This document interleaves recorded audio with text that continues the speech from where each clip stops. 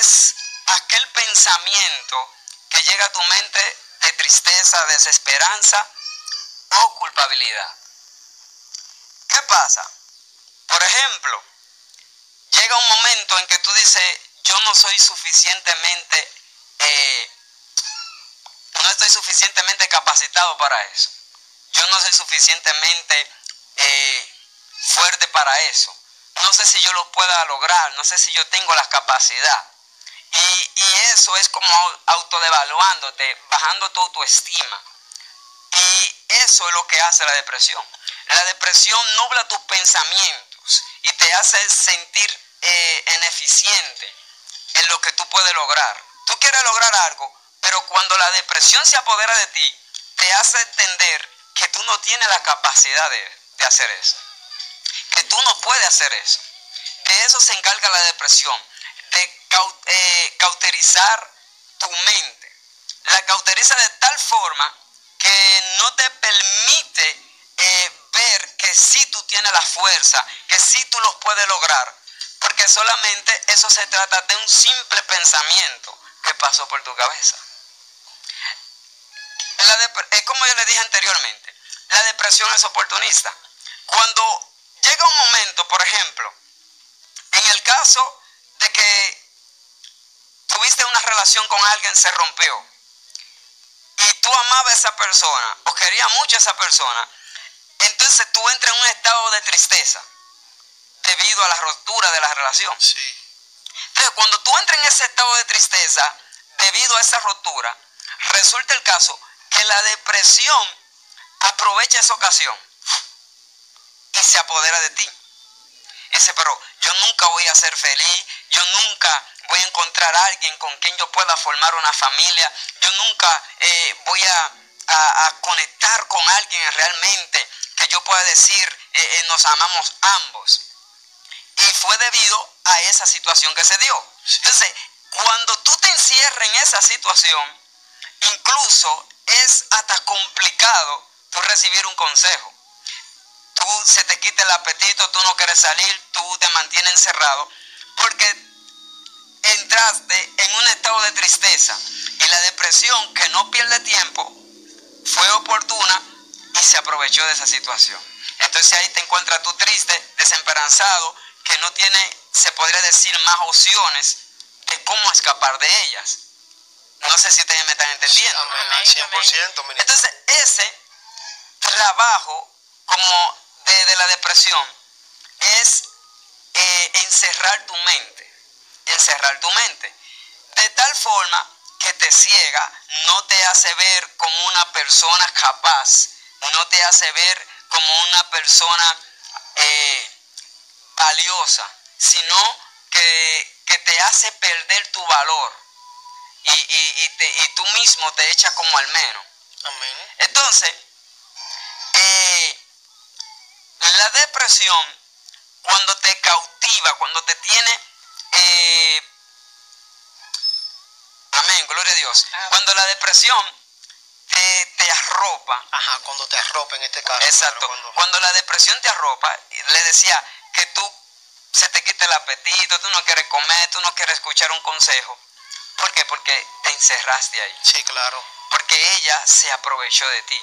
Entonces, estamos viviendo un tiempo donde tantos creyentes como no creyentes están pasando por esta situación. Y la depresión a veces es tan terrible que las personas lo ocultan, no quieren eh, eh, mostrarle a los demás por lo que están pasando. Sí. Tú ves a la persona sonriéndote muy normal en la calle, pero al final están pasando un momento de dificultad. Eh, disculpe, mamá, eh, ministro, que le haga eh, esta intervención, pero han, surgido en este caso interrogantes, escuchando su exposición, su intervención, ¿verdad? Han surgido interrogantes. Y es que usted decía, una de las principales palabras cuando usted inició, que me llamó mucho la atención, es que usted dijo que tanto creyentes como no creyentes, en este caso, están, están en un estado de depresión. Entonces, esto preocupar para mí en este, en este caso, porque yo entiendo que la palabra dice, eh, presentad todas vuestras, o sea, venid todo lo que a mí todo lo que estén turbados y cansados y yo os haré mm, descansar, ¿verdad? En un momento determinado también el apóstol Pablo dijo, eh, presentad delante del Señor todas vuestras peticiones o aflicciones en oración y ruego y Dios va a resolver, ¿verdad? Sus situaciones. Entonces, yo conociendo lo que dice la palabra en ese, en ese contexto, en ese tenor de que mis situaciones Dios la va a sobrellevar, entonces, ¿cómo es esto que usted me dice que hay creyentes que están en el estado de depresión? Hábleme un poco de eso, por favor. Claro, claro. Hay creyentes que están pasando situaciones. Por ejemplo, hay un salmista llamado que se podría decir que él entró en un estado de depresión, porque él empezó a ver la prosperidad de los impíos.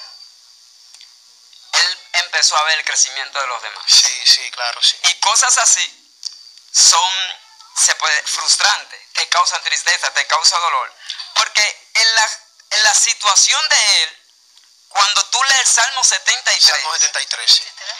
te das cuenta que él dice, yo que he- me he presentado, me he lavado mis manos todas las mañanas, me he purificado, me he dedicado Sí. a Dios. Sí.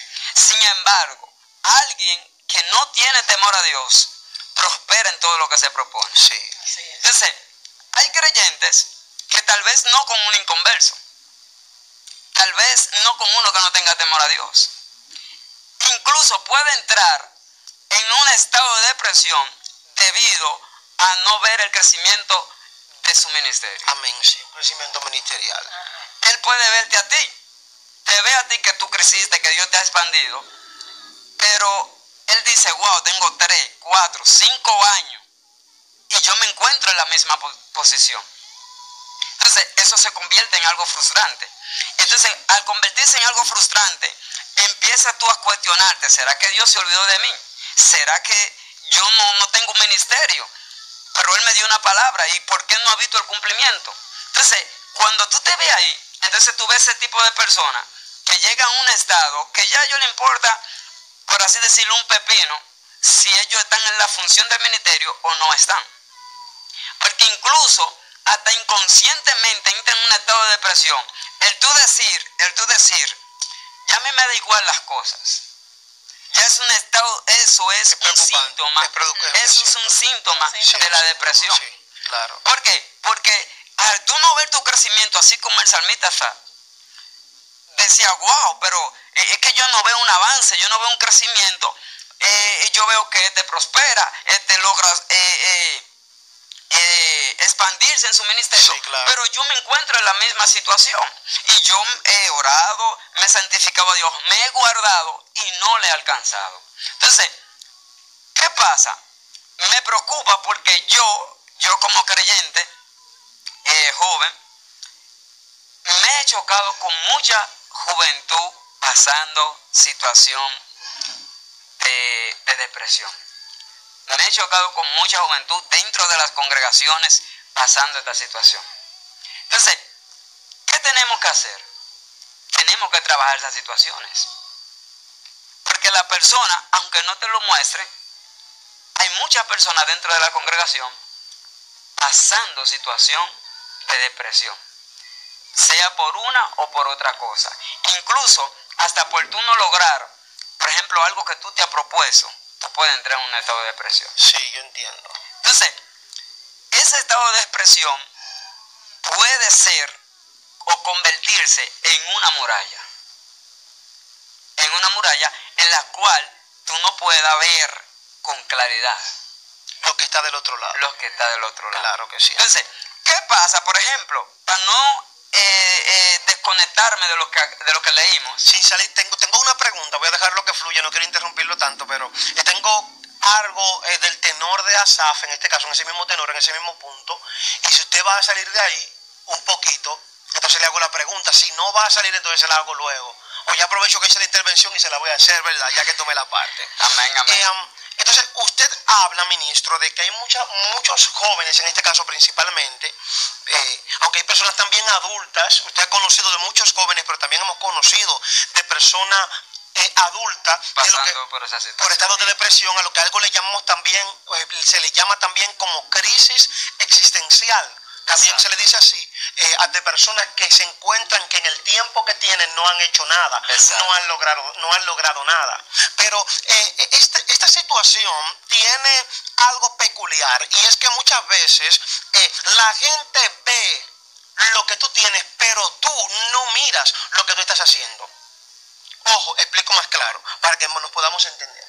De repente Jacinta Strachan ve en mí que yo tengo eh, un buen desenvolvimiento al hablar. Yo tengo una buena oratoria, tengo un buen discernimiento, mucha sabiduría con respecto a lo que es la palabra. Pero eso es lo que ve Jacinta Strachan acerca de mi persona. Pero de repente, ministro, yo no veo eso.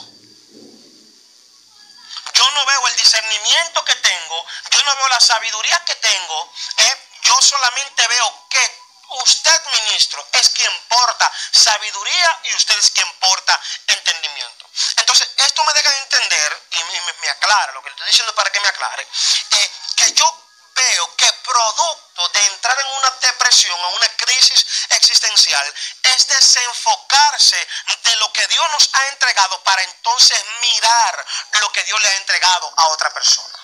Yo creo que ahí es donde principalmente radica lo que es la crisis existencial.